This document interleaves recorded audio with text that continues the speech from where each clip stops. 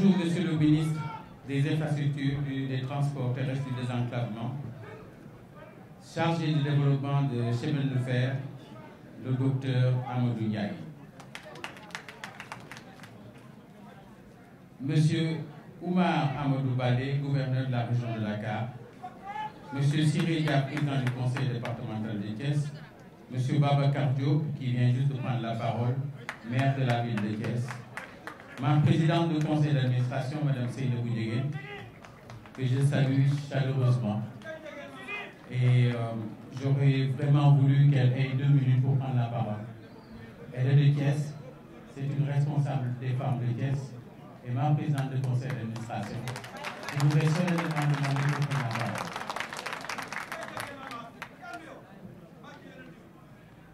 Je salue aussi M.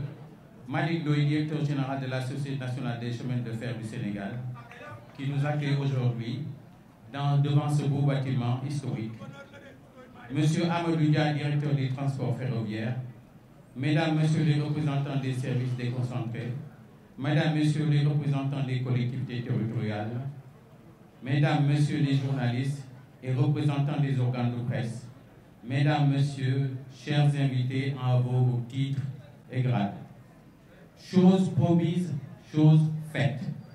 C'est pas moi qui l'ai dit, c'est le maire de la ville de Thiès qui vient de le dire. Excellence, Monsieur le Président de la République, vous aviez annoncé dans votre discours lors de la cérémonie d'inauguration du BRT, le 14 janvier dernier, la reprise très prochaine de l'activité de transport de voyageurs par la voie ferrée sur l'axe Thiès-Dakar, Dakar-Thiès via Diamniadio, par le TR avec les grands trains du Sénégal. C'est aussi une occasion pour moi de dire, de saluer le directeur général de CETER qui est là avec nous, qui est venu faire la fête avec nous. Vous avez encore une fois, comme toujours d'ailleurs, respecté la parole donnée. En effet, mesdames, messieurs, chers invités, nous voici aujourd'hui réunis pour à la fois inaugurer le, le beau joyau que vous avez sous les yeux et de lancer le démarrage de la liaison de l'axe Dakar-Thiès, Thiès-Diamniadio, toujours via le train express régional, et ce grâce au grand train du Sénégal. Nous, remercions également à l'endroit du docteur Amadou Yaye, ministre auprès du ministre des Infrastructures, des Transports terrestres et du désenclavement, chargé du développement des chemins de fer et ses proches collaborateurs. Et dont je sais le travail extraordinaire qu'ils ont eu à faire, même s'ils l'ont fait beaucoup à l'ombre, sous la conduite vaillante de Monsieur le ministre. C'est aussi sous le leadership. Ce n'est certainement pas un hasard de la vie si c'est un digne fils de Thiès qui réhabilite cette gare emblématique et fait redémarrer le train, dont le seul sifflement réveille l'âme des Thiessois et fait surgir des souvenirs enfouis en chacun des habitants de la cité du rail. C'est aussi sous le leadership de ce valeureux fils de Thiès, je veux nommer le ministre Dr Ndiaye. Une, collaboration fructueuse entre CFS, Saint-Terre et GTS a vu le jour et a permis l'atteinte des objectifs, objets de notre présence ici aujourd'hui. En tant que directeur général des grands trains du Sénégal, vous me permettrez de demander un tonnerre d'applaudissements à ces vaillants cheminots de GFS, de GTS, qui ont travaillé nuit et jour pour une reprise effective des transports de voyageurs par la voie ferrée. Mesdames, Messieurs, je voudrais vous demander solennellement deux secondes de tonnerre d'applaudissements à l'endroit de ces gens. Merci encore. À la demande de l'État du Sénégal, soucieux de la protection des couches sociales démunies, GTS a fixé ses prix à 1500 francs CFA pour une première classe climatisée et à 1000 francs CFA pour une deuxième classe ventilée. Tout à l'heure, vous verrez le train qui est dehors et qui vous attend pour des voyages les plus agréables au monde. Les trains que, vous, les trains que vont faire la rotation Thiès-Diamniadio, Diamniadio-Thiès sont de type réversible.